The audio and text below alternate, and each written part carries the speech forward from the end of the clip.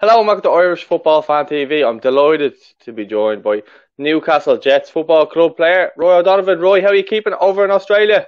Pretty good, Paul. Thanks for having me on. No probs. Um, so look, we we said we get uh, players on and they're talking about their careers and stuff like that because obviously everyone's in isolation all around the world and it's something nice for people to look back on. So, if you want to talk me through your earliest memories of football? Earliest memories of football eh, back to my very young days playing for uh, Leeds, my junior club back in Cork, uh, under eight street leagues. Uh, I always remember my team was Tottenham Hotspur, so at that time Jurgen Klinsmann was the big star, so I wanted to be Jurgen Klinsmann, score all the goals, and literally I had the, I had the bug then from then, you know, playing with what seven aside it was, had the bug, joined up Leeds then under nines and played, you know, your street league football into schoolboy football. And ah, look, there's nothing like schoolboy football, is it? Looking back at it, lobbing, lobbing the keeper every week, you know, for about 40 yards. They couldn't reach the crossbar, so it was great. It's got plenty of goals. So I take it. I was going to ask you who your who your football idol kind of was growing up, but it must be Klinsmann, was it? Well, he'd be one of them. Anyone to score goals, really. But uh, I was a big Man United fan, so Eric Cantona would have been a big. I would have been a big fan of Eric and, and obviously Roy Keane as well, being from Cork, captain of Man United and all that Ireland. So uh, yeah, he would have been a big idol of mine as well. And the Brazilian Ronaldo. Anyway, uh, to be honest with you, mate, anyone, yeah, unbelievable. Anyone who scored goals, I was interested in. So.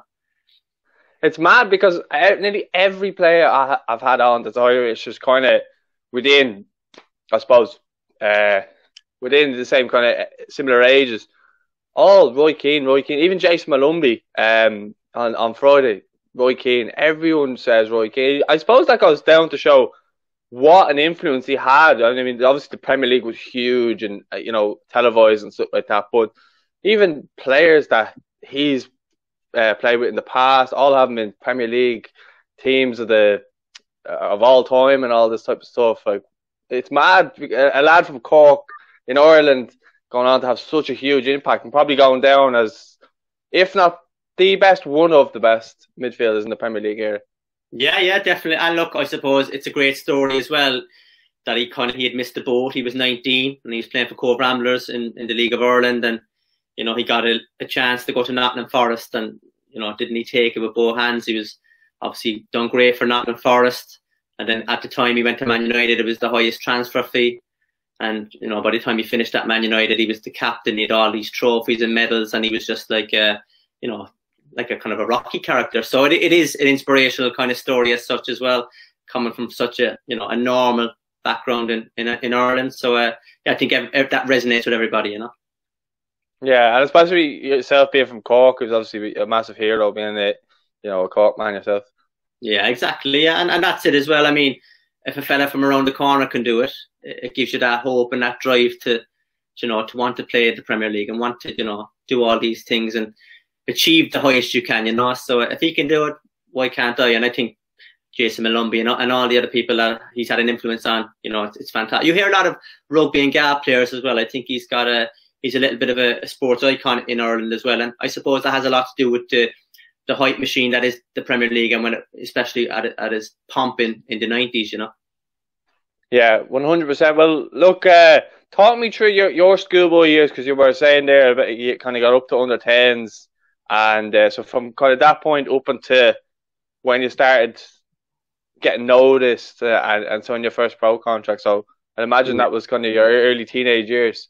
Yeah, it's gone back a few years now, so I'll just try and rattle through here in my head. But uh, uh, yeah, so look, I, I, my most of my schoolboy football I played for for Leeds, and uh, I was always a striker. I was always the little kid, you know, small but quick. So, uh, you know, I had to fight my corner a little bit. Um, but look, I scored scored plenty of goals, and I, I got my first trial. Um, Tony Buckley would have been involved with Leeds at the time, so he was a scout for Wolves. I went off to Wolves when I was 11, which was very exciting. Uh, Robbie Keane would have been kind of breaking through at the time there as well, kind of thing. Around that time when I was 11 or 12, and uh, so that again that in itself was inspirational as well. But I, I was going over and back there every summer and and um, and Easter for, for a few years, and then with the Cork team in the Kennedy Cup, under 13, just kind of leading into that, I broke my my ankle in the game, so that that kind of set me back a little bit. To be fair, I, I got back and played in the Kennedy Cup, but it set me back w- regards Wolves. So it kind of went from a situation where they were going to sign me, it was kind of nailed on, they were going to sign me to they weren't sure. So um, yeah, then kind of Coventry kind of came in when I was 15. I went on one trial there. Uh, it worked out. I, I done well on the trial, and they offered me three years as a professional and a year as a YTS. But also there was another six, seven lads coming over from Ireland as well. We were all going to live in digs, so it was brilliant. It was an opportunity for me to uh, kick on my football and you know make some new friends along the way as well. But uh, the only kind of drawback, looking at it now, I was probably a bit young, 15, leaving home, leaving school, leaving your friends and family. It was it was difficult, you know, and, and homesickness. I know plenty of people have said it to you before. That was quite difficult. The first year or two, you're, you're kind of going into professional football environment, and it's um, it's serious business, and you're living in the digs. You're missing your parents, your friends, a normal thing, and even look, even stuff like coaching. I remember the first day I turned up there, a 15 year old kid, and they they sent me training with the under 19s. Now the under 19s had a good side. A lot of them went on to play first team football and play, you know, for their country and in the Premier League and all that. But the coach uh, was a Scottish guy called George Mackey, and he was uh, he was a tough guy to please. He was uh, from the kind of Gordon Strachan school of you know discipline. So we've done this passenger, but I had never had real proper coaching back in Cork. It was kind of you know a lot of my football would have been played on, on the road, on the street. Uh, and when we went training with Leeds, we, we, to be fair, we won all the schoolboy comps now and all the, and we were in a couple of national, uh, national cup finals up in Dublin against St. Joseph's, I think, and uh, a few other very good teams along the way. But never with proper, just kind of, we were just naturally good players and played instinctively off the cuff. But I went over and then did done this passing drill, which involved about 12 people. You know, you pass it to this corn, cross it here, he runs around the back of you, crisscross zigzags the whole lot. So I'm just trying to trying to get my bearings a little bit, like you know. And uh, within about 30 seconds, this coach is literally in my face, abusing me, like, "What are you doing, man? You're ruining the whole session." Instead, like instead of just kind of saying like, "Step aside and kind of watch how it goes," it was just like I learned a lesson straight away. Like, there's no, there was no messing around. Like, you kind of had to be on it. But um, yeah, that was that was a big learning curve early on. Was Robbie would Robbie have been at Coventry then when you were obviously not breaking through then, but he would have signed after Wolves there. Yeah, he I t- he had probably just left to go to Inter Milan. I think the, the year before I went, so I think I, I signed there 2001. I think he might have left maybe in the January previously. Um, but again, he he was only there a short time at Coventry as well, and he left, you know, a, a massive mark on that football club. And I think he only played thirty odd games for Coventry, but uh, you know they, they spoke very highly of him. Even then, when I when I came, they were like, "Hopefully, you'll be the next Irish superstar," like you know. Yeah, well, they, that, they made that was... him as well. Though. They made they made out twelve million off him as well. I'm not sure they were going to make the same off me at fifteen.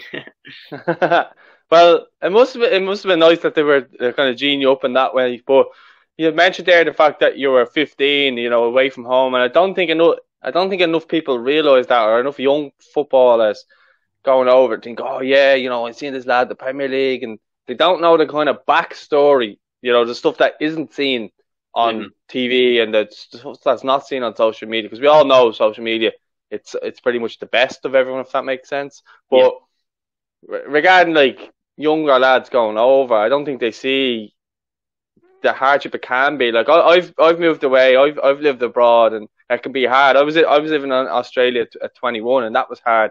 Yeah. Like to live, even though it's only across the way, but at 15, you're only still a boy.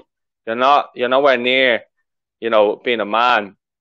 And at the same time, no family. Now you said that there was lads from Ireland over which it digs. That must have helped, but at the same time, you're away from all your friends, all your family, and mobile phones and stuff like that weren't huge back then. I'm sure. Oh, one, I, I can't really remember. But yeah. like there'd be no there'd be none of this Wi-Fi or, or any of that type of stuff back then. Exactly. That's and that's the thing. There was there was no FaceTime or Skype that I could get onto my parents all the time. It was we had to share the payphone in the uh, in the digs in the evening. So you might be lucky to get a half an hour on the phone and you'd be looking around the corner. There's people queuing up to speak to their parents in Sweden, Australia, uh, Ireland, wherever wherever they were from, you know. But uh, as you said, it is it's a, it's a tough game. Look, it's the best job in the world to play football for a living when it's going well, but there's a lot of struggle involved. You know, leaving your family, leaving your friends, and that that comfort blanket. And you know, I was this cocky 15 year old thinking I'm going to go over there. I know how to play football. You know, I'll get in the first team before I'm 16 and change the world. But uh, it's not that easy. It's it's you know, it's a lot of hard graft, and you need a bit of luck. You need people to like you uh, along the way as well. And uh, yeah, it's look, it's competitive. Even though there was seven or eight of us Irish lads there, um, it's still ultra competitive. So it's kind of even at that age, it's kind of very hard to separate because we were living in in the training ground as well. We lived upstairs, so we trained in the daytime. Um, whatever double session, we do our job. So at the time, you either do kit, you do the boots, or you'd organise the equipment for the first team or whatever, clean down the footballs or whatever. So I remember like, I was doing boots or whatever. So by the time you get up upstairs to your room at five o'clock, you're you're kind of done with football, and you know if you've had an argument with someone in the day, you're stuck living with them. You know, so it was kind of it was that was kind of hard to kind of get your head around as well from a young age. But uh, definitely look a, a huge a, huge learning curve in, in my formative years, and and one that stood to me because it's very easy, very easy. I could see how people fall off the kind of um, the football wagon very quickly because they think I didn't sign up for this. I, I just want to play football and go home to my family. But you know, it's it's not always that easy. And you see a lot of guys go to England and they're the next big thing, and a year or two later they're back in Ireland and they might give League of Ireland a go, and that mightn't happen. And then before they're 19, they're they're never seen or heard of again. And it's a lot of wasted talent, really. Like so, you know, we've seen obviously the likes of Kevin Doyle and Shane Long and, and Wes who went away later on and benefited from that. They went in mature, they went in as a first team player, and they were able to handle handle the move. But uh, yeah, certainly for me, that first year was uh, was was hard and difficult, but it stood to me in, in the long term. Yeah, well, like you said there about you know uh, people going over and coming back. Like we had Nicky Byrne on, on Instagram live the other day from Westlife. Like he played for Leeds and he just came back and he hated football. He came back and played for Shels and Cobh Ramblers for a little bit and then just said, "Look, I'm packing it in." Obviously, went off to, to do amazing things with Westlife, but it just shows that it, it can happen as easy as that, you know. Yeah, well, that, and that's simple as that. And in fairness, he's it wasn't meant for him, but he's gone on to bigger and better things in a different field. You know, not everybody is is that lucky. You know, um, but it just goes to show. And I think he was he was rated quite highly. I think he was a goalkeeper at, at Leeds, and uh, it's one of these things. He just probably didn't get the break at the right time, and uh, it was probably difficult first team to get into at Leeds. He might have had many options when he was leaving England, and yeah, at the time there wasn't. I spoke to Derek Collin about this recently as well. He was kind of saying at that time in the nineties there wasn't many players coming from the League of Ireland and going back to England. You know, it wasn't wasn't really till Kevin Doyle kind of again that that kind of started happening that people were kind of using as a springboard to kick back onto to something else. You know, abroad or whatever it was. So um, yeah, so it was difficult, and there was probably a lot of talent wasted and lost because of that because maybe people found it hard to deal with the League of Ireland life. It was a, it was a physical could, could have been a physical league as well, you know. Yeah, I think Jack Burns came out and said that recently. He's just like, you know, I, I do have tough games when I come back here. People kind of say that the, the League of Ireland isn't isn't good quality, but it is. He he is always fighting the case for the league. To be fair to him.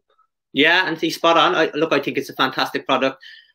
There's great players come out of Ireland, great schoolboy players, and equally so League of Ireland.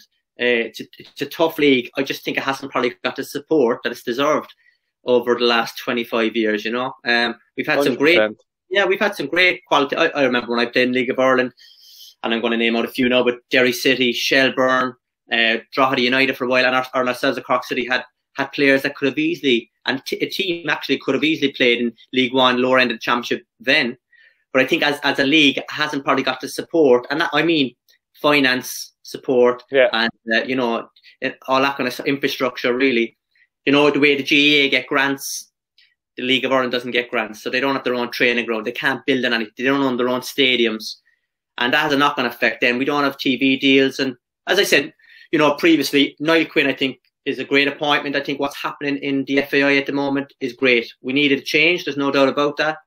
And Stephen Kenny, he's got great history in the in the League of Ireland and the people that he's bringing in, even like from Colin O'Brien, Jim Crawford, Damien Duff, Keith Andrews, John O'Shea, they're all very humble people. You know, they they'll want the best for Irish football. They want to leave a mark.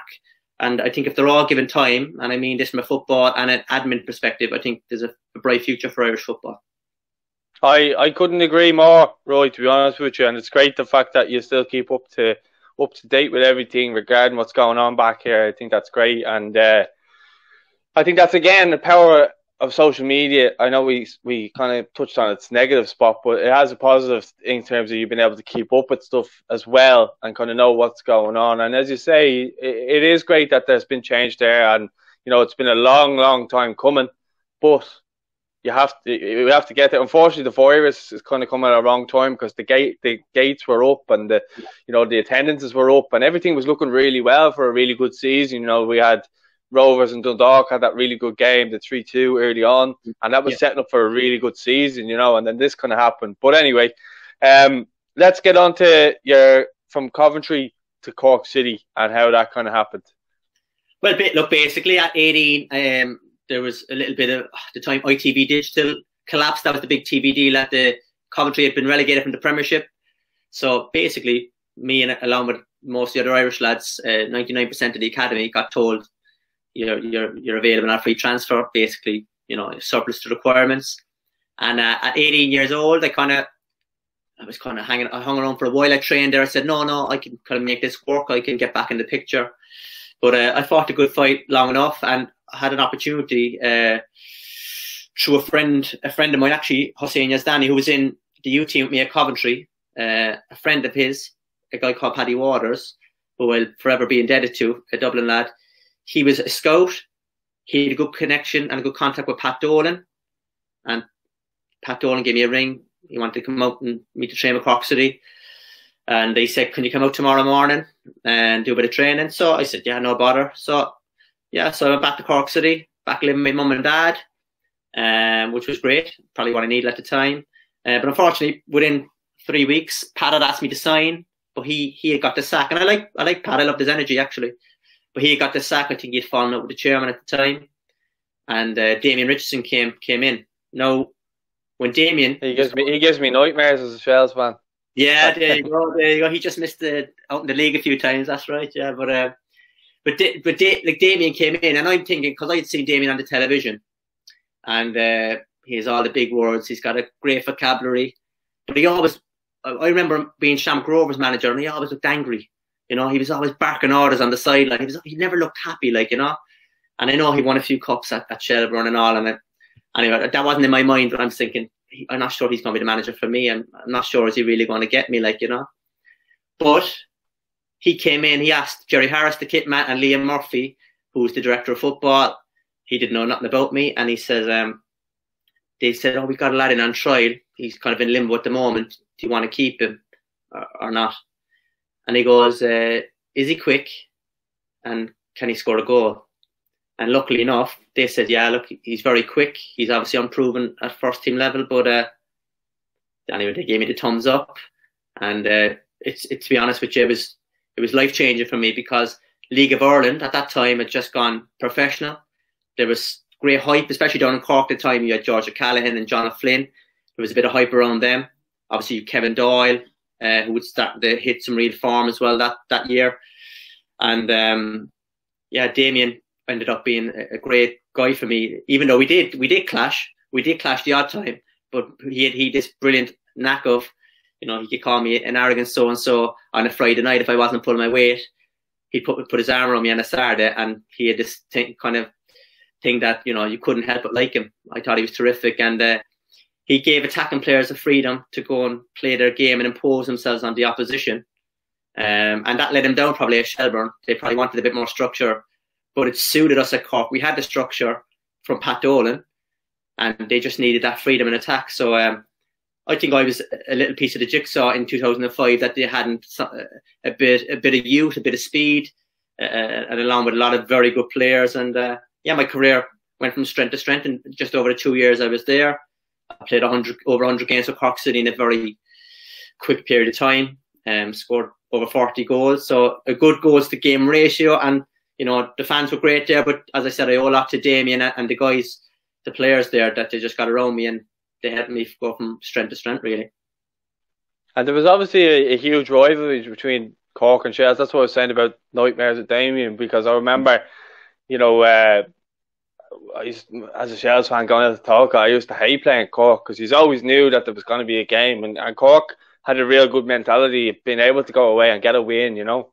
Yeah, yeah, happy days. I, I, you probably don't like me very much, so, so I'm surprised you took the call today. But um, but I, I remember actually really making my name actually against Shelbourne because Shelbourne were the top team in, in Ireland under under Pat Fenn and Collins for a long time. As you spoke previously, Jason Crow or Jason Byrne, Glen Crowe, Wes, Alan Moore, Owen Heary. Like you could, the, the list is endless. Top players that Joey had. Doe. Joey and Doe, Jim Crawford. So there's loads, um, and a few different kind of characters like Jim, or what's his name, Davy Rogers at the back. But um, but uh, but I remember the first day the voodoo of Cork City for a long time under Pat Dolan. Pat Dolan just couldn't get over the line and get that league win for Cork City, but they like they'd done done everything but they had a great European run but Shelbourne always had the hoodoo for years over Cork City. So my starting debut, I think, or one of my second game, maybe it was up in Tolka Park against Shelbourne.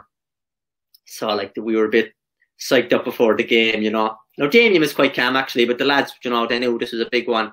If we were serious about winning the league, you got to get up here, get some points. So you know, I'm I'm, I'm kind of raw to it all. I'm I'm new. I'm trying to find my feet, but I said to myself, I'm gonna get out there today and I'm going to upset some people. I'm going to show them all about. So um, I upset a few people, mostly Shelbourne players. So I upset Owen Heary, I upset Jim Crawford, uh, and I scored a goal.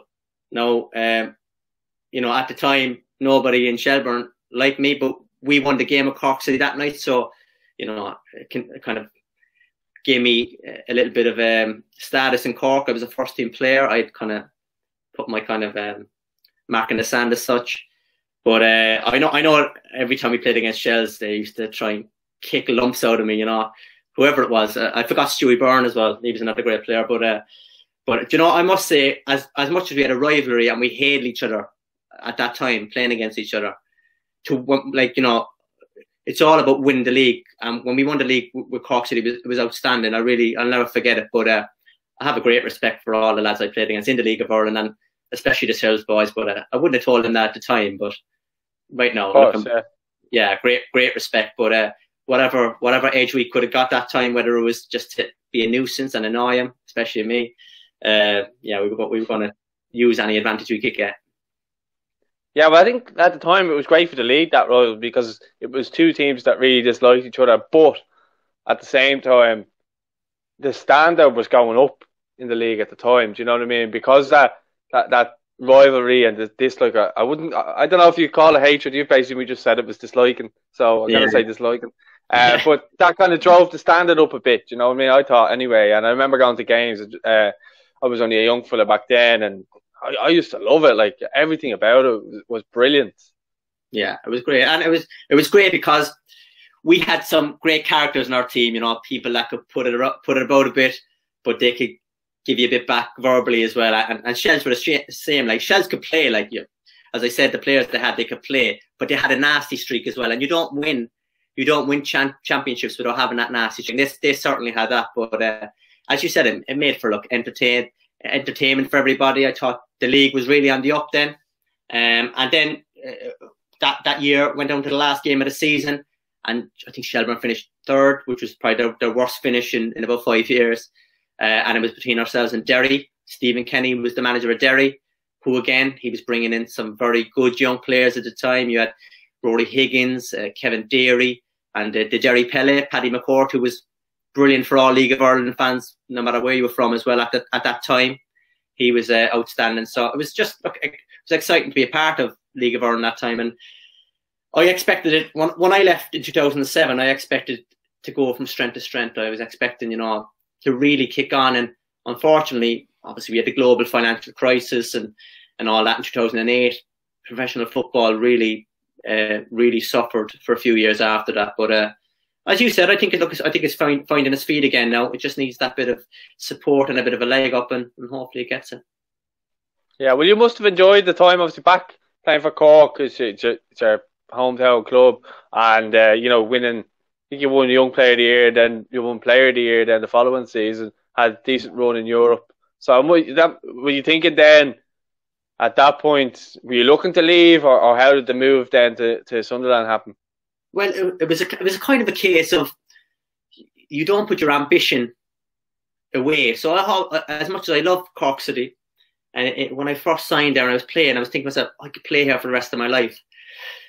It really, at that time, it, wasn't. If I wanted to be a professional full-time footballer and and you know look after and provide for my family, and realistically have a chance of playing for Ireland and and you know you know get get a bit of credibility, you had to leave, which is an awful shame, really, because I really was invested in the League of Ireland. And I love Cork, and I still love Cork City. You know, that's that's a part of me. But um, yeah, it was a case of really, if you had any ambition to drive all, you you had to go overseas. And you know, the more first team games I, I played, and I was involved with the Irish 21s at the time and all, they started to get a, a bit of hype within the league and within myself. And I was 19 years old, so obviously that that kind of gives you a kind of um, a platform in itself. And um, yeah, I, to be fair, Cork City were good. They, they weren't any, any, any rush to sell me or anything. They kind of went down to the wire. Really, they kept me for a year longer than what they could have. There, there was a couple of clubs could have signed me in 06 and they were like, no, no, we're, we're comfortable. We, would like to keep you. Um, and they wanted to get give me to sign a new contract, which really probably really wasn't realistic if I wanted to get away because the, the valuation would have went sky high. But I think they done all right out of the deal. I think they got between half a million and a million euro, depending on how many appearances I went on to play for Sunderland in the end. So I think they done okay at that time, considering where transfer fees have even gone since then in the League of Ireland. So I hope that again, that's another thing I hope gets better because it's a business at the end of the day. So if we are going to have talent leave the league, and there's plenty of it, they need to be kind of rewarded as well, so the, the clubs can reinvest it in in better players and infrastructure. You know that that probably wasn't the case either. I think the money they got from me was probably just reinvested in wages, and they went and won the FAI Cup that year as well. But um, yeah, they they obviously suffered a couple of years after that, and now FORAS run the football club, thankfully, you know. Yeah, I think that I think that shows even up until recently with uh, Dundalk how many players they lo- they would lose at the end of a season, and then they'd have to go out and try and find another player. Stephen Kenny, to his credit, was unbelievable at that. You know. Yeah, he, he always has been, and look, I, I suppose uh, the, the, story with Stephen Kenny as well. He, he done great at Derry. And he's had a few ups and downs like us all, but he's learned his craft. And at Dundalk, they were so unlucky, like with some of the European games, that they, they, they didn't just get over that next level. You know, they were they had some outstanding performances and results in Europe. And in the League of Ireland, like they were Dundalk when I was playing in the league, like they were always kind of like a bit of a yo-yo team. They were in the Premier, but they were down in the, in the, in the first division probably most of the time.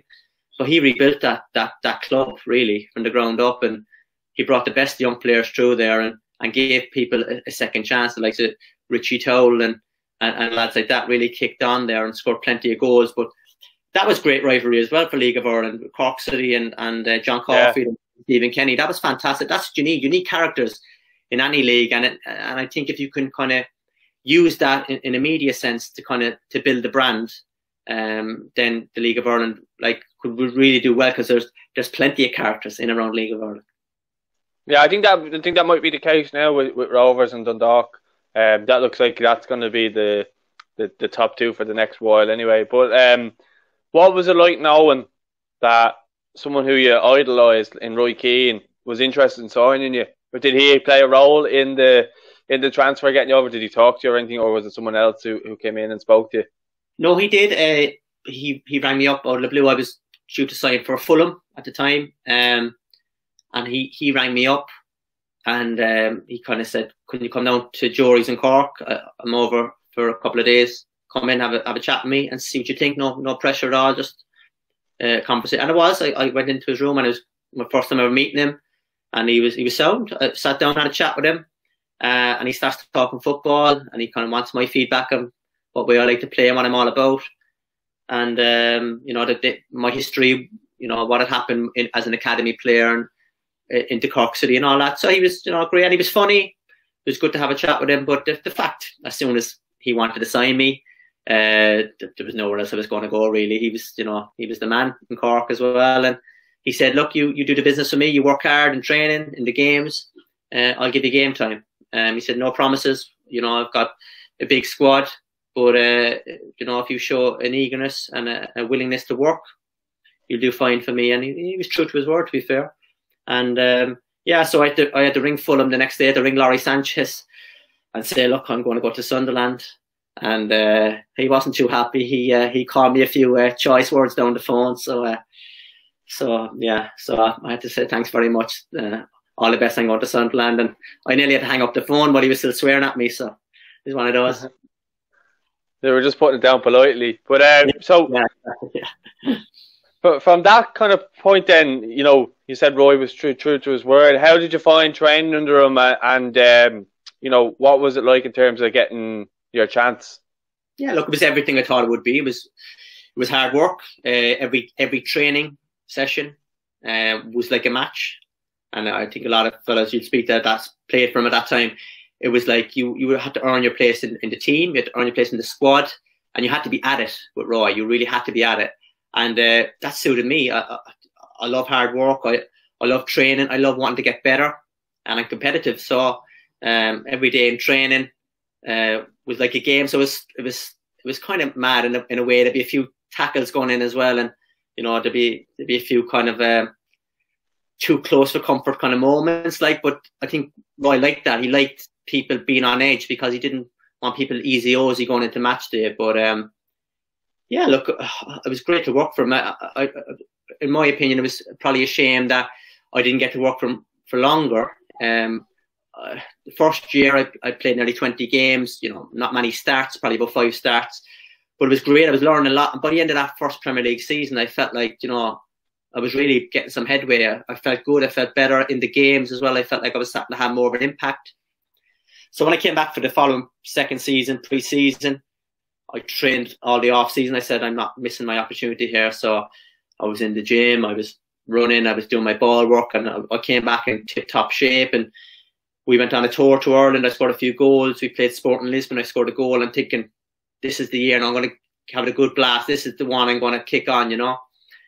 And about a week before the season, he called me in to the office to say that, um, you know, he doesn't want to get rid of me, but he wants me to go on loan for a little bit because he thinks it'd be good for my kind of progression.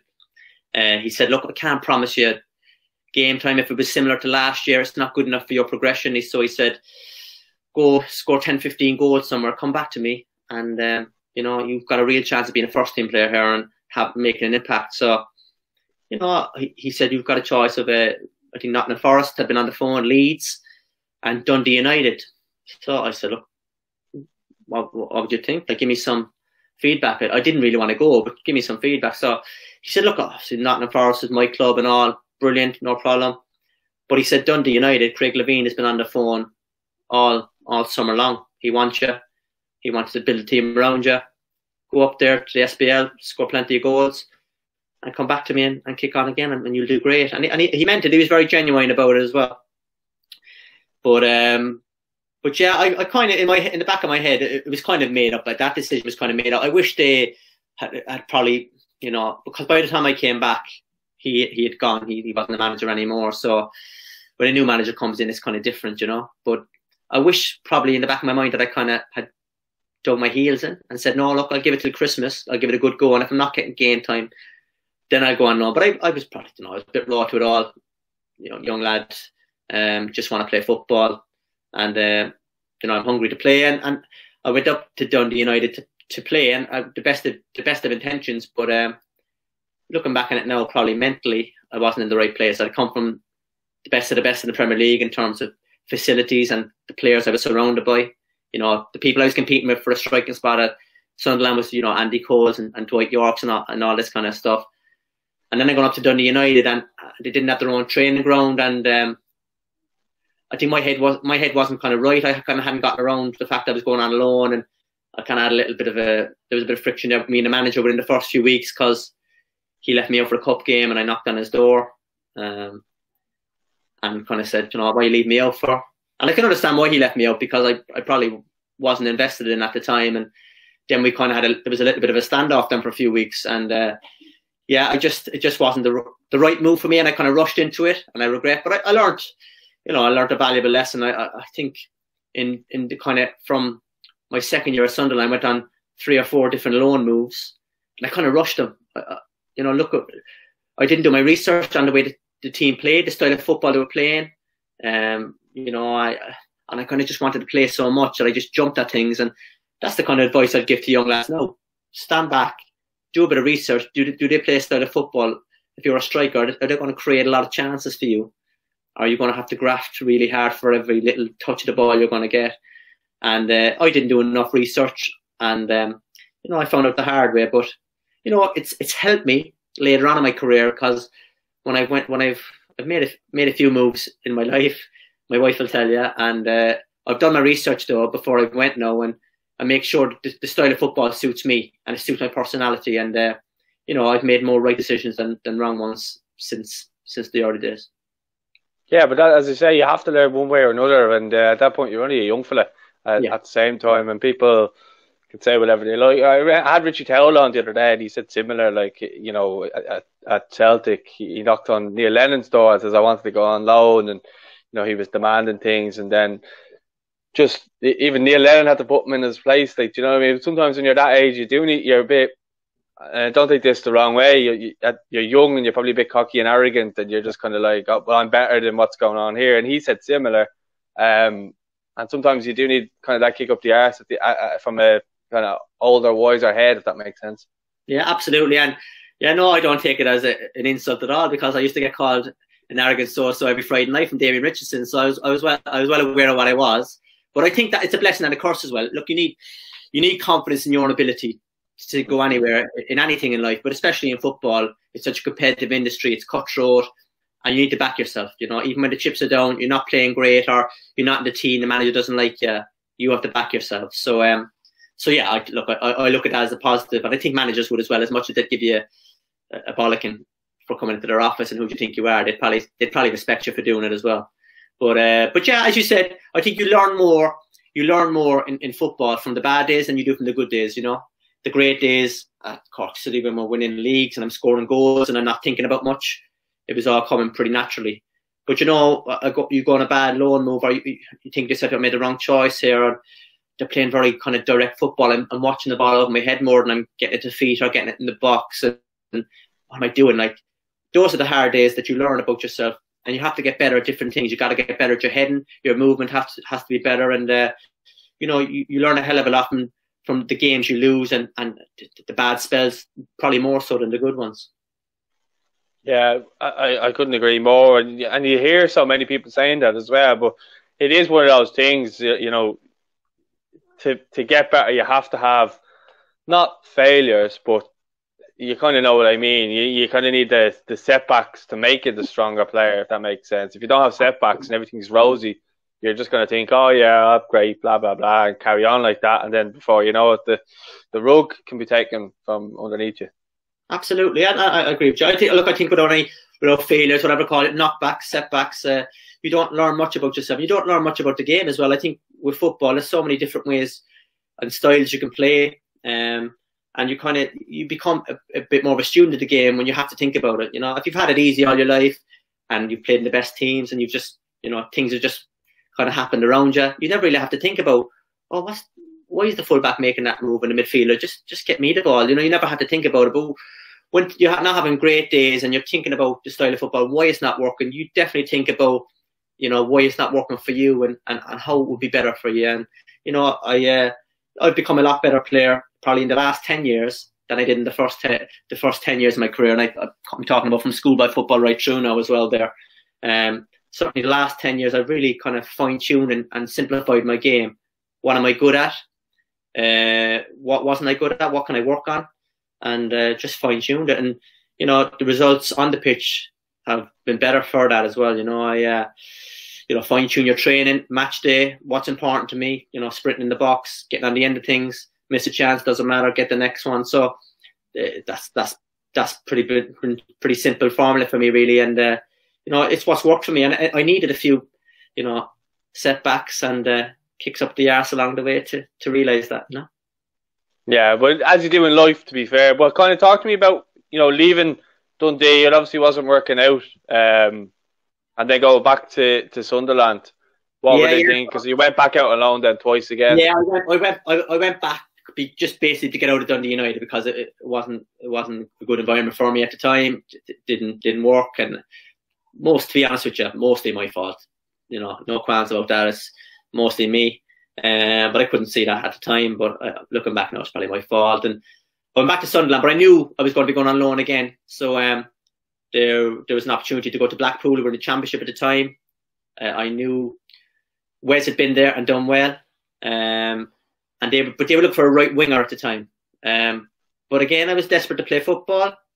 I said, yeah, yeah, I'll play in the right wing for you. So I went in, and it was going really well. I got in the team, was playing every game, a few man matches, and the fans liked me there. Uh, and we won a few games. We started moving up the table, uh, and I was really enjoying it. But uh, I got a appendicitis. We were about to play Sheffield United, and I'll never forget it. I was kind of we were on the T bus, and I kind of felt a bit tired all day. And we got to the uh, the dressing room at, at Bramall Lane, and I was looking at the lads and thinking, "It's cold in here? Freezing here." But I was sweating as well at the same time. So physio was like, "Something not right with you here." So just before the warm, he brought me to see their their club doctor. So uh, the club doctor kind of done the test on me. Get your pants off. Uh, it's me wrist. No, get your pants off. So he done the test on me for a. Uh, for appendicitis. He was a specialist, luckily enough, and I got rushed to hospital. I had an operation that night uh, to have my appendix out, and that kind of basically cur- curtailed the rest of my season. Um, I came back. I was after losing a lot of weight within a couple of months. Played a few games for the end. I started against I think Swansea and in the derby against Preston.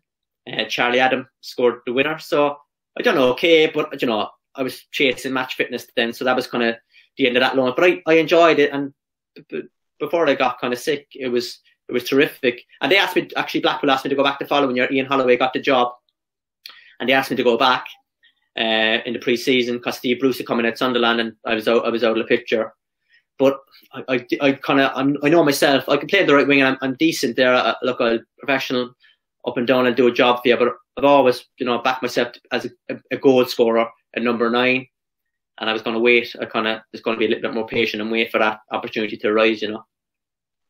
So how how did the rest of that go then? Because at the end of that season, you imagine you're back then at Sunderland. Did they yeah. assess your loan period, or what way does that happen? Yeah, yeah. Well, yeah. Well, Steve Bruce had come in, and obviously he's seen I was at Blackpool, and uh, uh, Dundee United. Dundee United, obviously, I, uh, I hadn't started the amount of games they would have wanted, hadn't scored as many goals as they would have wanted and then he's sending on to Blackpool, and he's probably not even looking. There's no appendicitis on the farm or whatever. Like it's like just probably wasn't a great season. So um, you know, I, I came back pre-season. I gave my best, but they were signing a lot of players. Sunderland was spending a lot of money. Big Premier League club. They had the finances, and they wanted to to survive in the Premier League. And you had the likes of uh, Darren Bent came in the door. I think Djibril Cissé. So look, there was big names coming in and it was difficult for me to. Gyan, did Gyan sign then? No, that was later on. In the year after, but it just goes to show you, Bolo's and then you had big names coming in the door. Jordan Henderson was uh, making headway, so he was. So you had Bolo Zenden and, and Jordan Henderson that were going to play on the wings. You had uh, Cisse, uh, Darren Bent as strikers, and along with a few others, Kenwyne Jones and these lads were still there. So it was, it was going big, to be big players though. Yeah, exa- exactly. So look, it was it was no, it was no shame in that regard, but I needed to go and stand on my own two feet. I, I found uh, League of Ireland wasn't getting the credibility. They weren't saying, "Oh, well, he's played hundred games for for Cork City, scored forty odd goals, won leagues, been in cup finals." Kind of ah, League of Ireland kind of thing, you know. That I think there's that elitist thing as well regarding Irish football. We do it to ourselves. We shouldn't, you know, because it's as I said to you earlier, it's a great product but anyway, long story short, I was going to wait it for my opportunity as a striker. There wasn't many came along really. Uh, didn't you know? I, I, had a chance to go to Blackpool as a winger. Didn't really want. To, I said I'd dig my heels in. So so so then came came in for a month, a month's loan. So I said, yeah, I'll go look for loan. Went down there, scored uh, scored my, my second game, I think. Uh, but it was only four games in a month. Scored a goal, went back and then it was another two months I was just playing the reserves at Sunderland, and uh, Hartlepool got in touch. Um, Joe Gamble, who obviously had played with Cork City, Leon McSweeney, Denis Behan were at Hartlepool. It was 25 minutes down the road from my house in Sunderland. Uh, they were in League One. They needed a striker, and they called me up. Would you be interested?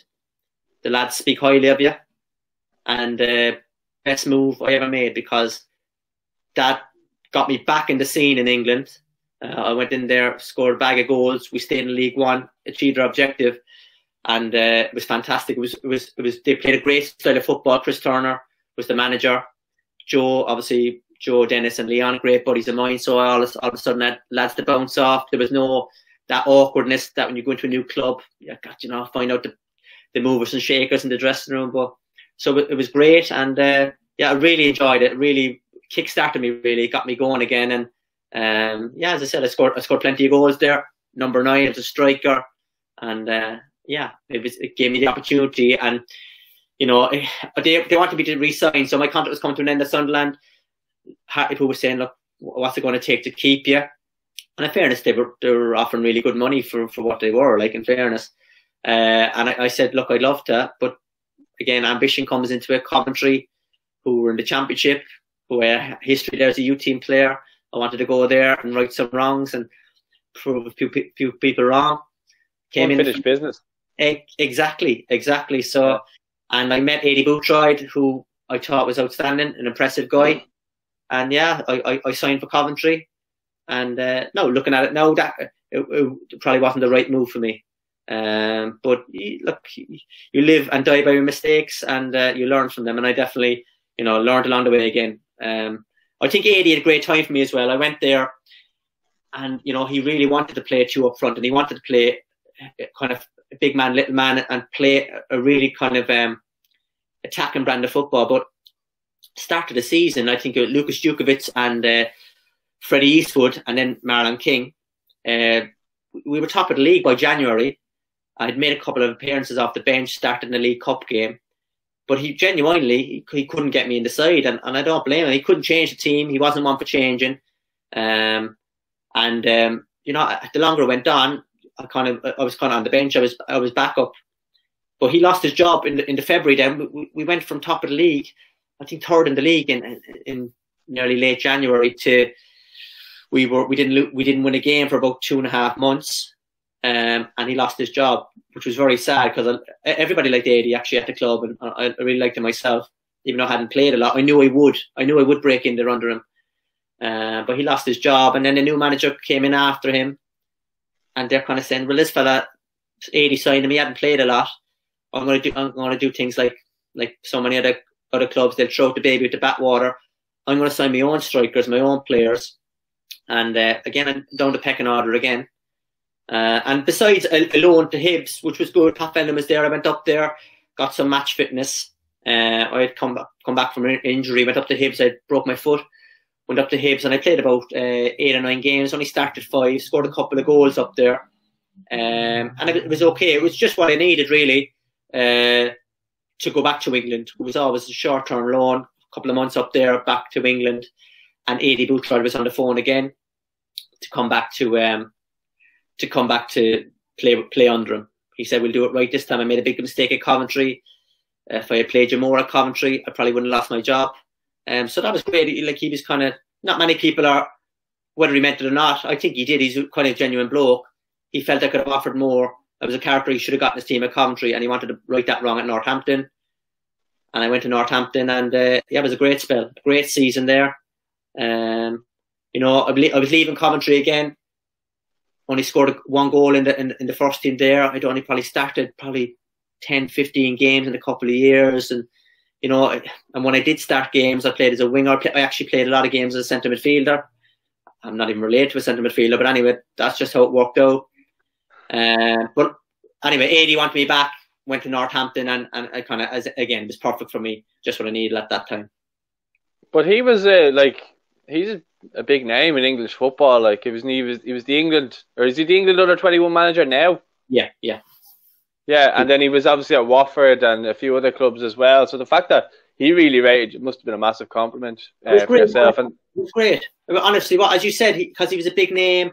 Uh, he he done really well at, at Watford. He re- like he had high raps. Like they, they, were talking about him for the England Gaffer even then as one of the youngest you know managers around in the Premier League. But uh, I liked I liked the way he went about his business. I liked he wasn't one for change in his style.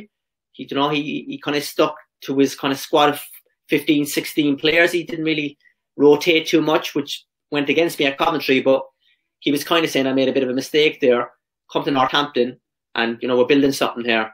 And he was true to his word. I went there. I liked the way he worked. You know, he got people around him. He, you know, he, people knew their job with, with Aidy, and he, had, he had a good positive energy. Good, there was good vibes around the place, and uh, yeah, that, that season we had a good side. We Clarke Carlisle was the captain, and myself, uh, Clive Platt, and uh, Akinfenwa up front. So uh, I was the little one out of out of those two, obviously. Um, but it was good. I scored plenty of goals. We got to the playoff final, um, and it was outstanding that first season. Um, and I, I, yeah, I loved I loved playing under Aidy. Actually, I, I, I just it was um, it was a shame it didn't work out at Coventry, but I was I was glad to get an opportunity again at Northampton with it. Yeah, I can tell even by looking at you there, the smile on your face when you when you bring up his name, it kind of brings a bit of a light to your face. So he obviously had a huge impact on you. Absolutely, yeah, absolutely did, and uh, I learned a lot. And I, we had happy days as well. You know, I, uh, he, uh, you know, he was always he was always chipper. You you lose a game, it was no big deal. We learn from it, we move on. You know, it was always positive. You know, you could do this better, you could do that better. But at the end of the day, we're all we're all in it together. He did, he hadn't forgotten what it was like to be a football player. You know, I think it, some people sometimes people go into management and they forget. You know, sometimes it's difficult to be a football player, so you have to kind of you have to have a little bit of give and take, and you know, kind of be on their side sometimes. You know, and uh, was good at that. He, he was good at getting players on his side and getting them to kind of um, give him hundred percent, and and he got the best out of people. And um, he certainly did for me. He gave me a new lease on life there. And I, I, again, I played sometimes on the wing for him, sometimes up front, and I was happy to do that because he was he was a good bloke and um, you know we, we were striving for things, and we were lucky not to get promoted that year. We lost that in, at Wembley that year, and the following season, uh, I extended my contract. So did he. Uh, we lost. I think his budget got cut, slashed massively. They were building, they were extending the stadium, and we lost uh, Clarke Carlisle, who was our skipper, Akinfenwa, and uh, Ben Harding, our centre midfielder. So the spine of our team went, and they didn't they didn't give him the kind of the funds to replace them. And I got injured. I, I ended up going for an operation, and I missed most of almost half a season. And uh, by the time I came back, Aidy was getting the sack. We, just results just weren't happening. And, and uh, you know, it was a shame really. Nobody wanted to see him go again. He was great, and it was just going through a bad spell. But that's what opened the door to go to to to Asia, to Brunei, because I know that's where your next question is going to aim at. Uh, I got a phone call out of the blue from from an ex teammate of mine to, to go there. So, from from your point of view, uh, you're leaving England. Mm-hmm. It's not really that you know that well known for an Irish player to go over there, especially at that point in time. So you probably you probably made the pathway for, for a lot of players to go out that way. What was it? What was the thinking behind the move? I know you're about to tell me there that your your mate got onto you. But yeah. at this point, were you were you with your wife at this point, or had you found her? Yeah, we, we were, and that's the big thing. I mean, this is the human aspect of football as well. We had just got married, so we played a playoff final with Northampton. Got married in, this, in that summer back in Cork, and uh, we'd bought a house uh, in in Rugby in England. Uh, you know, kind of trying to settle down, do normal family things, have think about having kids and all. And here's me then, six months down the track, uh, six months into a two-year contract at Northampton, and I'm saying, uh, George O'Callaghan just rang me there out of blue, and he said, "Would I be interested in going to Brunei?" And she goes, Where, "Where's Brunei?" And I said, "That's what I asked him." Um, and uh, I kind of because when when George rang originally, I, I kind of said, "Nah, George, I'm only 28." I said, well, well, why am I going to Brunei? I said, I, I, like, I want to play abroad. There's no doubt about that. It's, it's always been in my mind. But Brunei, like, why Brunei? And in fairness to him, he, he was he was relentless. He didn't stop calling me, and, and eventually, then we got to talking brass tacks and what's the contract. And as I said earlier, I was coming back from an injury as well at Northampton, so I just back from having the double hernia surgery and an ankle injury. And he was saying, "Look, the season is starting here in February." He said, "Goes February to October." He said, "Is this the end of January transfer window? Go over there, score a bag of goals, and we'll get you back to England." and you can kick on again, fully fit, ready to go in, in October. So I said, yeah, it's a good point. So um, so yeah, so I made the move, made the move over there. Uh, as I said, that shed, my wife shed a few tears, but she was good as gold. She was uh, she she went with the flow, and we moved over there. And Joe Gamble was there as well. He was just signing, uh, who had obviously had a great success playing at a Cork and Hartlepool, and uh, I get on with Joe. He's, he's a great lad as well. So um, he was going there, so that was going to make it a bit more comfortable. Uh, and Steve Kean was the coach there, so it was going to be a British coach, so it was going to be something that uh, you know I'd be used to. And uh, yeah, it worked out really well. I had every intention of going there, coming back to England in October and kicking on because I was in, you know, it was a great age, 28, 29, still relatively young, still all ahead of me.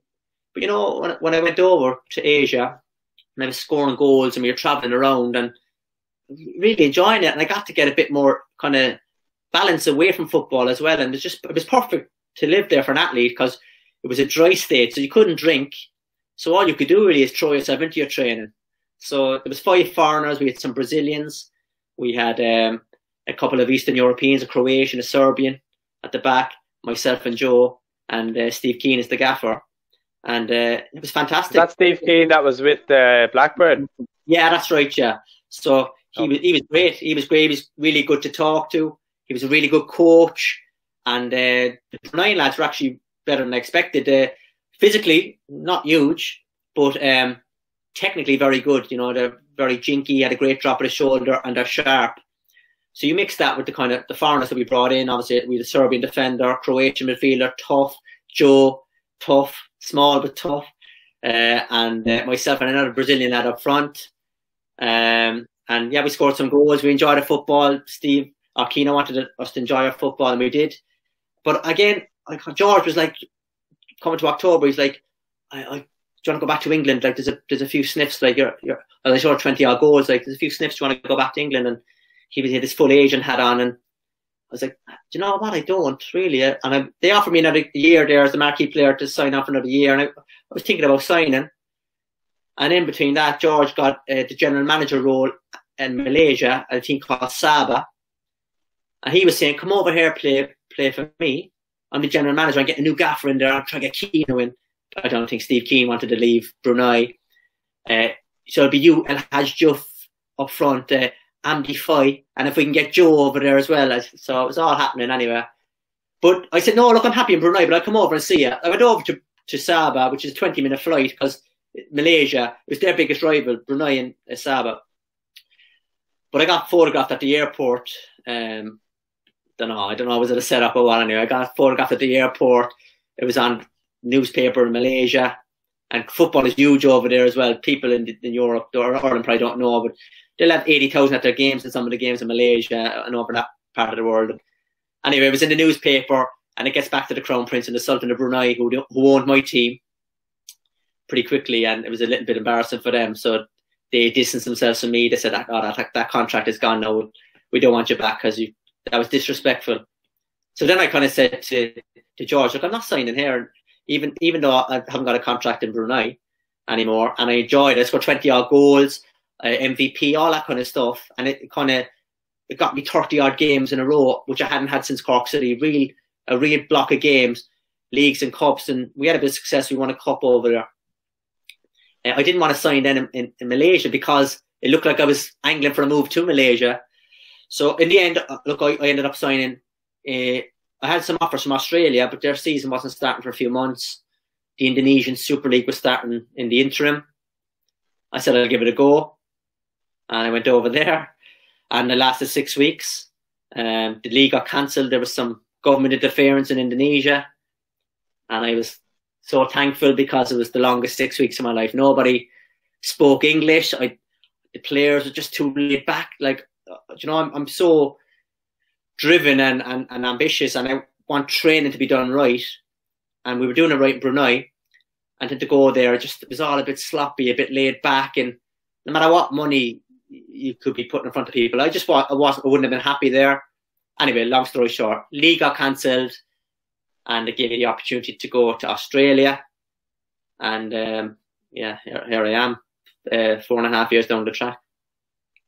Well, at, that, at that time, had you just had you given up on England? I think I I think it was on uh, Fans Voice uh, TV. You were saying about like the quality. Sometimes you kind of have to weigh it up the quality of living to your football ambition and kind of get the balance. And I I know from from traveling myself, I lived in you know Canada, uh, America and and Australia. Now I didn't really like Australia at the time, but I was quite young. But the fact that, as you say, you were at a good age going over there, and you're kind of you have your partner with you. So at that point, you must be thinking. I assume you're 29 at this point because you have a couple of Yeah. loan moves and Yeah. and that, or not loan moves, sorry, the couple of moves. Yeah, but yeah. um, they going from there. I suppose at that point you were probably thinking, you know, there's there's a good life for me here in Australia. Now I don't know. I'm just I'm just thinking off the top of my head. You can let me know, but you must have been thinking, you know, there's a good quality life here. You know, Australia is a beautiful, beautiful country. Like, Yeah, no, you're spot on. You nailed it there. Uh, that's what I learned when I moved away from England. And, and you know, in England, and you, you have that ambition and drive, and you want to win games, and but it's tough. Like you, you're playing if you're keeping yourself fit, which is hard enough in itself, and staying in the team. You're playing fifty odd games a year, which takes its toll on you. And it's you know it's pissing down and rain most of the year in England, and it's you know by the time you know December comes, the pitches start to rip up, and it you know, it becomes a bit of a dogfight, especially in the lower leagues as well, you know, Championship, League One, whatever. But uh, Australia was perfect for me because, as you said, it's a beautiful place. I had watched it a bit, of, bit of their football and the standard of their football, so I rated it. Like I thought it was good, and it just was perfect. Like you know, I am financially, financially was fine. You know, you can make a good living here uh, if you if you've got something to offer. But I just think the life work balance. You know, I go train and train hard, ticks all that them boxes. We're trying to achieve something. The standard of football is really, really good, a lot higher than people think. You have to be extraordinarily fit, which suits me because I, I like to train hard and, and test myself. But when training finishes and the games finish, it's, a, it's the sun is shining. It's a beautiful place to live. Uh, Ellen gave birth over here, so we had a baby boy who's was born in Australia and he doesn't know any different. He, I don't think he's seen a day's rain in his life. So it's uh, in, in that in that in that kind of aspect for us, it's perfect, perfect age. And you know, I've had a few clubs in, in Australia now um, as well, but I've really got a lot of time for, for the A League and and just you know, as Irish players as well, I think we need to you know expand our horizons. Like you know, not England's not the be all end all for everybody either. You know, for all the people that leave and go and want to, I want to be playing the Premier League. It's hard, and it's getting harder and harder to to get. I was lucky; I, I made some appearances in the Premier League and had a taste of English football, but not everybody's that lucky. And I think people need to start looking further afield, especially young lads. You know, I'd like to see the National League get stronger and a pathway that they, they go through the, the academies uh, and all the age groups into the League of Ireland team and move on. That'd be great. But you know, look look outside that. Can can we get players playing in, in, in Belgium, in Spain, in Holland? If they're really technical players, is going to the Championship in England or, or whatever clubs like that that play very direct football? Is that going to suit a very technical Irish player? So uh, it suits me anyway. Uh, to make a long story short, playing in Australia, they play a good style of football. They're physical. The Aussies are physical, like the Irish. They get stuck in. They're competitive, but the, the the style of football. There's a lot of international players coming here. You're going to have five foreigners. There's a salary cap. There's a lot of TV money floods in, and it makes a really good product. And uh, that suited me, the kind of style of football. And uh, I've scored plenty of goals over here. I'm still scoring goals, and, I'm loving loving life and loving football. Yeah, well, I I went over there in 2012. Uh, I think the marquee player in the league at the time was Brett Emerton. He used to play with Blackburn. Uh, he was playing with Sydney FC. And yeah. then you talk. There's the since then there's been you know Damien Duff's gone to, went to Melbourne and Del Piero went to Sydney and there's been players like that. Uh, David Villa he went to Melbourne as well. I think. Never City, yeah, yeah, yeah. Um, so there's really you know top class players there. It's kind of similar in a way to the MLS. They, I think they're trying to do something similar there. Yeah, yeah, very very similar, very similar really. That they're trying they're trying to get the big names. Last year the, the marquee was uh, Honda, Keisuke Honda, the Japanese. Yeah. Uh, you had obviously Del Piero, Robbie Fowler, Heskey down down down the track. But to be fair, like in the last five years, the league has got a lot more physical, so they're not going for the, the, the kind of aging stars as such that come in with a big price tag and physically probably aren't delivering the numbers and the stats they used they used to. So the kind of foreign players that are coming in here tend to be a lot younger now. Uh, they mightn't have the, the as big a names as, as the ones I just mentioned, but they they still they're hungry and as I said, you got to be fit to play here. So um, the, the, the league is really good. it's a glossy product, you know, it's vibrant. There's a lot of media attention on it. Um, but uh, it, look, it is. It's a good. It's a good style of football. I mean, the teams I've played for here, uh, especially at Newcastle, just they play really kind of, you know, attacking football. They want to get the ball down. They want to play when it's on. If not, they turn teams around. Quick wingers. They try and get the ball in the box. They're trying to get the ball behind defenders. Right up my alley. You know, I can be a nuisance to defenders all day, make my runs, and get in the box. Let other people, um, let other lot of people do all the kind of the donkey work as such, the wingers, the, the overlapping fullbacks, midfielders, the Wes Hoolahans of this world trying to unlock defences for me, and I take all the glory down with the odd tap in here and there. So. No, so I actually think the first game, I, I the first A League game, only A League game was Sydney against Newcastle. I think Michael Bridges was playing for them at the time. Yeah, that's right. Yeah, yeah, that's right. And would, so there you go. Yeah, it was and yeah, Brett Emerton and was Dwight was Dwight Yorke playing the City then? I was no, he had he gone back to he probably no, he probably finished. I think he might have come back to England. Yeah, yeah, maybe you're right. Yeah, yeah, but uh, but yeah, was it was it a decent game? Like I mean, I, I think even since then, actually the league has advanced massively. I oh, 100 percent, hundred percent, yeah, way more. Yeah, but I'd say the crowds were good even then. They was probably full stadiums and that. Like, I was lucky. A guy I met just playing football because over there you can just go to a local park and they'll just have like a drop-in game of football and you'll be playing with lads from everywhere, England, Scotland, all these kind of lads who just came over and they, they made a life over there. Do you know what I mean? So we went. One of them took me into his box, and we went to see Sydney against uh, uh, the the Jets at the time. I thought it was brilliant. I loved it. Like any sort of football game, I was like, yes, get me to it. You know, so I loved it. Yeah, yeah, it's good, and it's I my my my point of view is it's everything that the League of Ireland could be. You know. Yeah. And the difference is uh, financial backing, and you get to bring in, you know, with that. No, I know it's not going to happen overnight for the League of Ireland, and I, we're talking about building blocks. But like, if you've got a little bit of TV deal, and I'm not talking about over here. Every club gets about four four million dollars a year off the TV company, uh, which means they pay sixty million TV deal every year, sixty million. That's not going to happen in Ireland right now. But if they get some sort of TV deal that pays some bills, you know, it might only be five percent, you know, they start to get some grants from the government that they can get their own training base and maybe start to think about building or buying their own stadiums down the track. Um, you know, that could be a huge future for, and you could you get better players into the league because of that. You know, the finances go up. You you get you know you become a bit of a draw.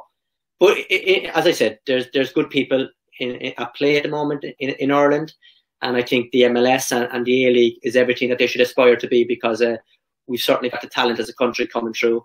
We we always had done. We, we've always, uh, you know, had a great history of creating players, and you only have to look at the history of the Premier League to see that. But um, our own league, we're quick to knock our own, and uh, every great international team has a very strong national league, and uh, if we're going to be serious moving forward, we need to help our own national league.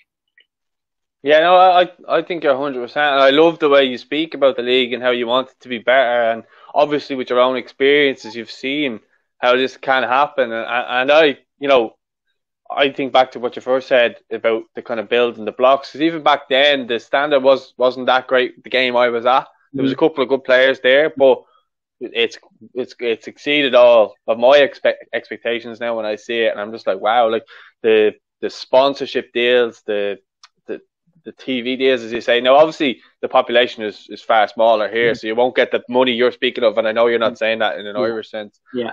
But it, it it's as I say, start off small and work your way up. But it's even just getting the TV, uh, the stuff on TV in general. I, I mean, I don't see why someone like Sky Sports can't get like because they do a lot of Irish stuff. They do the GAA. I don't see why they can't get on board and do something with with the League of Ireland. I don't know what is holding it back. Like we're yeah. not allowed, from our channel point of view, we're not allowed put any sort of goals or anything up, or, or we can be like going for copyright. So we can't yeah. push it out there even to a further audience, yeah. um, who might who might only follow us and not say the, the League of Ireland Instagram account or YouTube account, you know, type of way. So it's tough yeah. trying to we're trying to do, but we can't put any highlights or anything like that, and we can only just put like pictures up. Yeah. If that makes sense, and people are like, oh. that makes sense because people like ourselves, are, you know, want the best for it, but you're restricted. You're you, are you are trying to help with your hands tied, you know.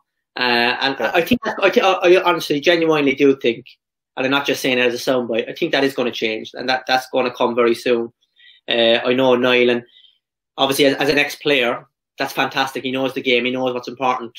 You know, for from grassroots up to senior level football, but also from a commercial side of things, I think he's very tuned in to how we can make money and tap into the talent that we have in the League of Ireland and help the Irish national team, men's and women's. And um, so I think that's that's going to happen. But as you said, it takes time. There is building blocks. But even uh, like small things, I'm always when there is a game on TV, which as you said is all too infrequent. When it is on the TV, if the game, for example, at Turner's Cross, they they kind of film it from the big stand, looking down at Derrynane, the low the low stand, and no matter how good the product is on the pitch, it, it, it kind of looks like a conference game, and people that you know have a basic understanding of football, they're watching it and they're thinking, ah, sure, that's you know, it's only League of Ireland, like it's no level.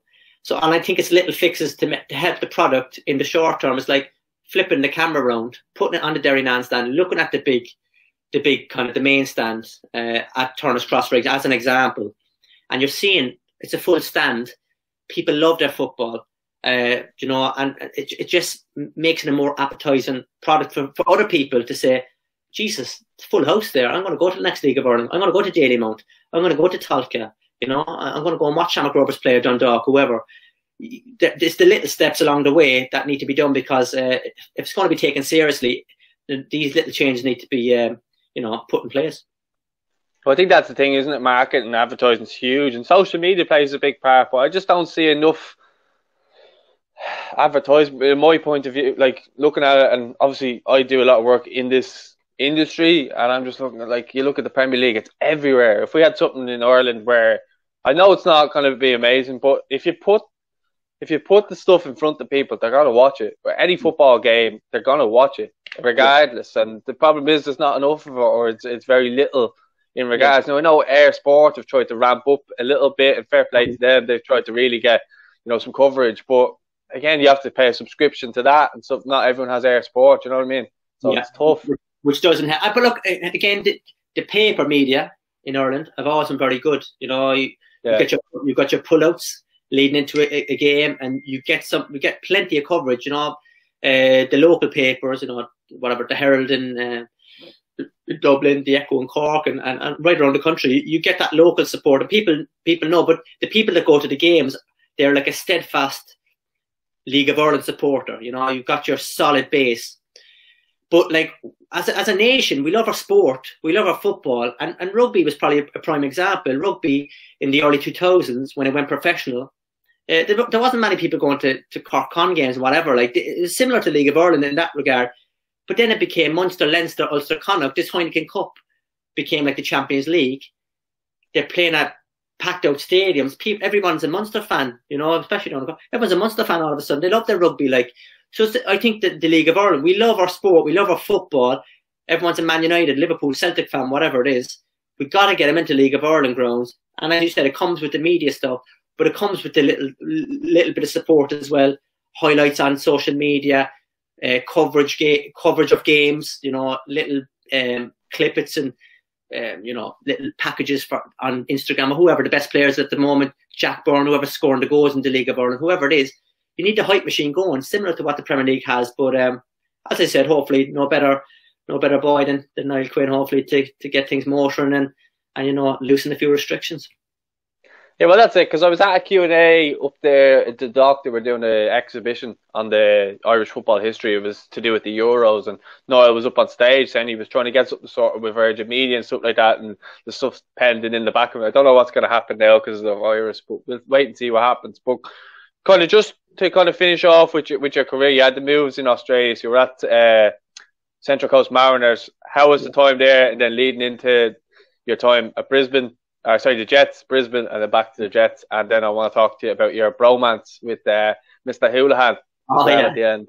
Uh, well, look, obviously, when I came over here, uh, it was a case Ellen Ellen uh, was pregnant, so um, it was a case of there was a contract at Central Coast Mariners. It wasn't look again, it wasn't huge money really coming in the door, but it was fine. It was entry level kind of stuff uh, for a foreign player. And I said, all right, I'll give it, I'll give it a go. They weren't, they're not the biggest club in the A League. They weren't the biggest, definitely weren't the biggest spending club. Uh, but I came in for two years and uh, hit the ground running. Uh, uh, I scored, I think, 20, 20, goals for, for the Mariners in, in, in 40 games. Uh, and then, you know, uh, in between all that, I, I, had a couple of suspensions here and there. I never lost that, that kind of edge. Um, and, you know, I, I had my ups and downs in Australia as well as had it in England. But uh, I had a, an opportunity then at the end of my contract to go to Newcastle Jets, who would be the biggest rivals of Central Coast Mariners. It was a, a big no-no. But, you know, they they offered me a good deal. They were trying to have a go at winning the competition, which I knew the Mariners weren't trying to do. And they really wanted me. So, um, yeah, I went up, up the motorway. Uh, it's about 45 minutes up the motorway, signed for the nearest rivals. Um, and my first game back, uh, as fate would have it, was against the Central Coast Mariners at their place, uh, full stadium. They unfurled a big, a big flag for the game of, of my, a big, I swear, about 50 foot banner of my head on a snake for, for going to the nearest rivals. And uh, I scored a hat trick in the, in the first 28 minutes of the game just to kind of shut them up a little bit. So uh, I, I endeared myself to my new fans on my debut. And uh, yeah, I'm one of the all-time top goal scorers for, for Newcastle Jets. But yeah, coming to the end of uh, the contract last year, I two years uh, scored plenty of goals, um, and again we got to a grand final. We just missed out and win the league, uh, so we had some success as well.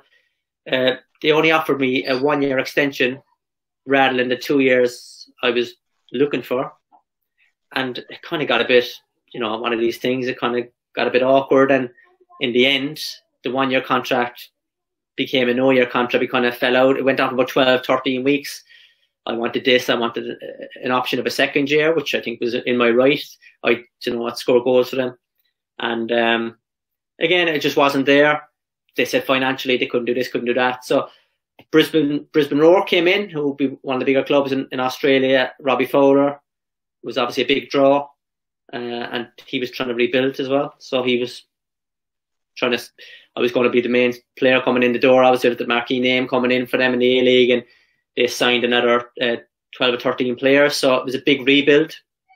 Um, and look, I, I enjoyed it. It was a good club. I got to live in the Gold Coast for a little while, and um, yeah, it just you know, I talk because again, I come back to I done my research on people before I sign in the clubs, and Brisbane Roar, Rob, a team that played a really vibrant style of football. They're they're all about imposing themselves on the opposition and, and you know hurting the opposition, trying to score goals, attractive football. Uh, they were called Roarcelona at one stage. You know that's you know they, that's the kind of football they were trying to play. So I was delighted. I'd be the number nine in that, get plenty of chances. But Robbie coming in, Brisbane Roar, the previous season had conceded a lot of goals. He wanted to make them really structured and defensive. I'm thinking signing for Robbie Fowler he was the most instinctive, natural goal scorer of his generation. I'm thinking this is going to be right up my alley here. I'm going to get loads of chances, and it's going to be just just get in the box, do my thing, like you know. But it it became a kind of so structured. We ended up like a lot of the times we were playing five at the back. Uh, I was kind of a low, ended up being a lone striker.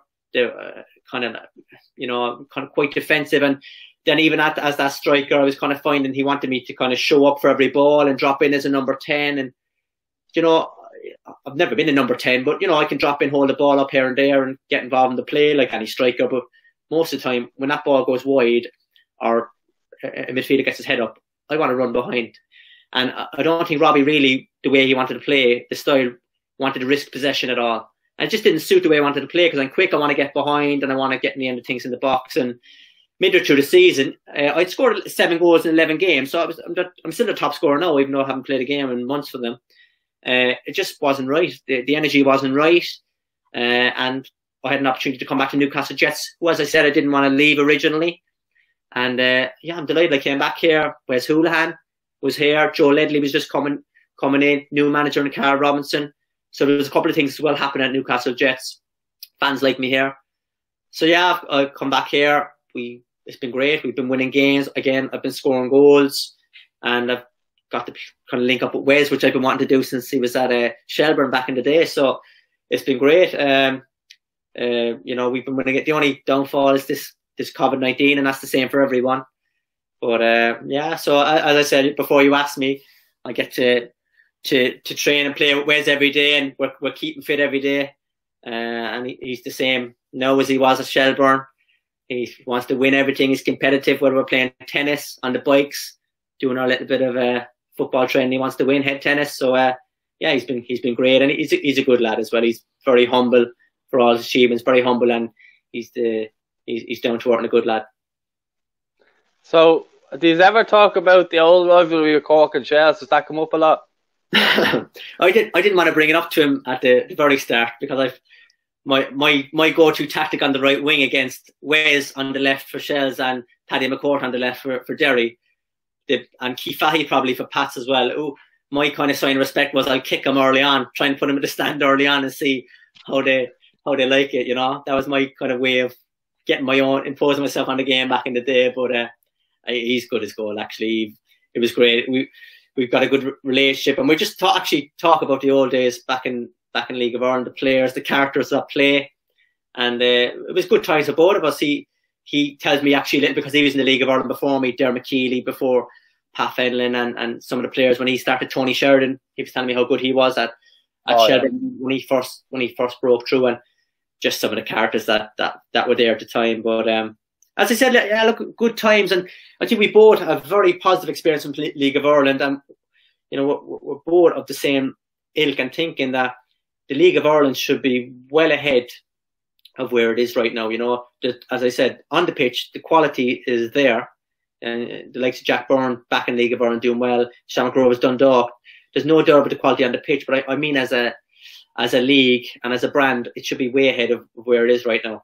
But um, but yeah, we've we've got a bit we have a bit of crack. He gives me a bit of stick about the clashes I had with all his teammates. He, he, I think he had a, a black a black book of lists and names are going through. Did you ever have a fun with X, Y, Z along the way. So I'm just, yes, yes, yes, yes. Every single one of them. Yeah, pretty much, pretty much. But that was that was that was a happy days. Yeah, well, uh, and I also see that you were playing tennis there the other week, and he cracked you in the head with that tennis ball. That was payback, payback. You know what I mean? So he says he doesn't resent what happens us Cork City win the league in 05, but he obviously does. He obviously does, you know. yeah, well, listen, um, it's great to hear that you, you're enjoying just life in general because obviously you get your ups and downs in England and stuff like that and yeah. you know it seems like you're enjoying a quality way of life in Australia do you see your future pretty much in Australia now or what were you thinking yeah I do I do really I I, I feel like we've we've made a life here the, the football side of things it's it's been great for us and we like the lifestyle but uh, in football you never know really you, you can never I, you know I've learned that along the way you can never make plans too far in advance because you know they end up changing pretty quickly it depends on what I do, you know, moving on after football and what have you. But um, at the moment, I'm quite confident in saying that I'll be here for a while yet. Uh, I enjoy living in Australia. We've made it home. I think Alfie, my young lad's going to go to school here in the new year and all that kind of stuff. And uh, yeah, I'm, I'm, you know, I've got years left of me football wise. I'm feeling good and feeling strong. So yeah, I don't feel like going anywhere too soon. Excellent stuff. Well, listen, I've kept you for nearly an hour and a half, but I've enjoyed every single minute of it. It's been fantastic. Thanks very much for, for coming on the show with us, Roy. Cheers, Paul. Absolute pleasure, man. Thank you.